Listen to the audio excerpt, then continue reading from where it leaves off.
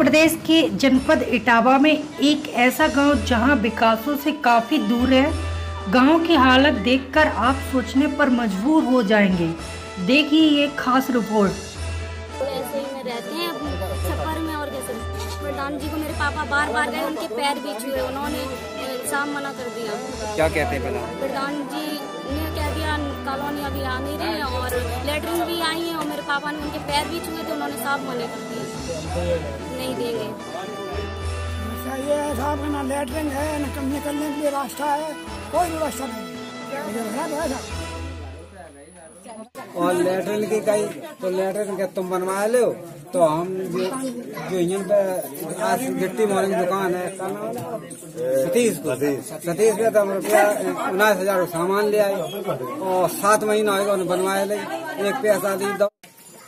जब बारिश होती है, धानों में भी पानी भर जाता है, धान के बाद फिर घरों में आ जाता है, बच्चे नहीं जा पाते पढ़ने के लिए।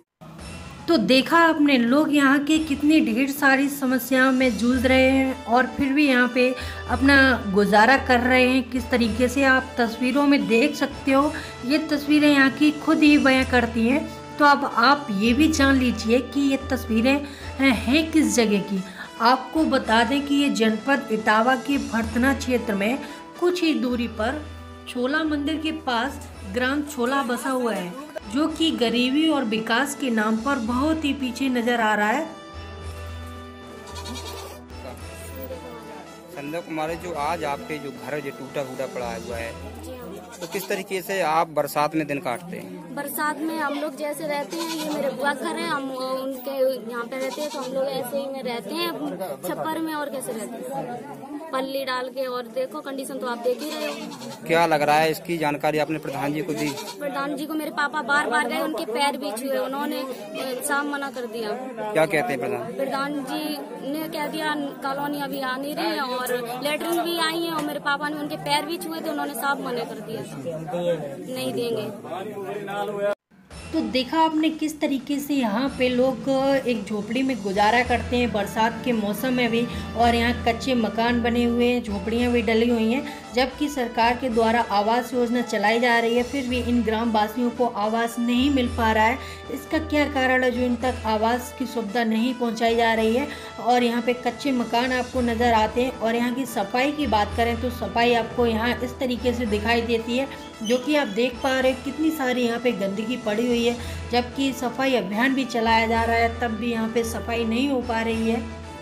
जैसे ही इस ग्राम में आगे की तरफ़ बढ़ते हैं तो आगे आप देख पाएँगे कि यहाँ पे डॉक्टर भीमराव अंबेडकर जी की एक मूर्ति दिखाई देगी।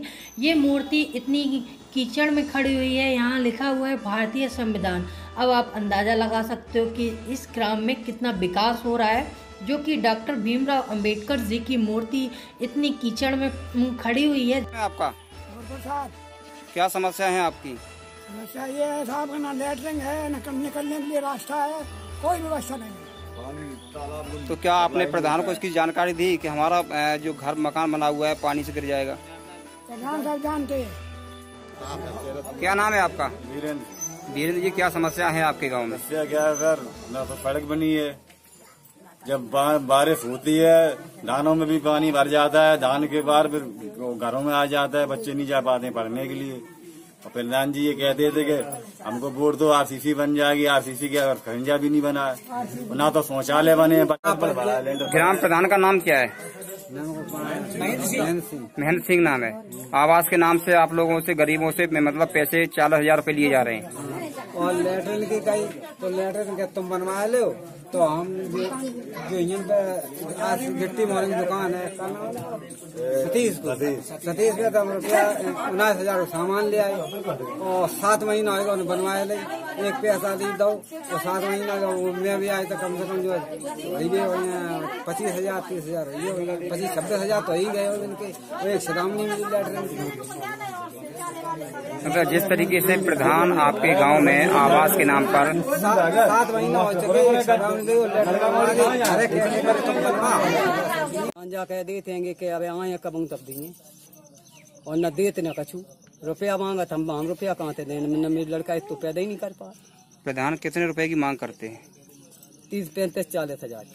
रुपए मांगते हैं उसके बाद में कॉलोनी दी जाएगी। ताकि बाद में कॉलोनी दी हमारे लड़का कहाँ से ले आए कमाए थे जब बरसात होती है तो आप लोग कहाँ रहते हैं? बरसात रात है तब यही रात जाई में डूबा जाई में मारा। और क्या करे? तो लगभग कितनी साल से झोपड़ी में रह रहे हैं आप लोग? साठ साल है वही साठ साल से आप झोपड़ी में रह रहे हैं? हाँ। अभी तक आप लोगों को किसी ने सुनाई नहीं की। नहीं और सबको बूट दई। जब वोट मांगने आते हैं तो क्या कहते हैं वो आपसे जकात हम तुम्हें दिए कॉलोनी। तुम्हारे लड़कन को दिए तुम्हें दिए सड़क बनवे ना सड़क बनवा ना कॉलोनी दी। तो आपने उनसे कहा नहीं कि वोट मांगने के टाइम आप वादे करते हैं? खूब कहा थे क्या कहते हैं फिर वो? जकात आपका दारी है आए तब दिए। और न देर न कछू पैसे की मांग करते हैं। पैसा की मांग कर ये छोटे छोटे बच्चे हैं आपके। हैं गरीब आदमी हम कहाँ से ले आए? बताओ मजूरी को धंधे मेरे बच्चा दिन भर मजूरी करे संजा के बच्चन के पेट पाला किशोरी क्या समस्या है आपकी? जो है मेरी सड़क नहीं बनी। और घर में पानी मारो मड़ा फूटो डरो। न कॉलोनी मिली ना कछ मिलो शौचालय दिया गया आपको शौचालय? शौचालय दिया गया आपको शौचालय? नहीं नहीं मुझे कछ नहीं मिला। है तो शौच के लिए आप लोग कहाँ जाते हैं? खेत में जाते हैं खेत पे जाते हैं। इसकी प्रधान से आपने कहा कि मुझे लैट्रिन दी जाए। हम दो दाएँ गए तीन दाएँ प्रधान क्या कहा प्रधान जी ने? मिल गया मिल गया कछ नहीं मिला तो। तो आपने इन ग्राम के लोगों की समस्याओं को सुन भी लिया होगा और देख भी लिया होगा। अब देखना यह है कि इन समस्याओं का समाधान कब तक किया जाएगा।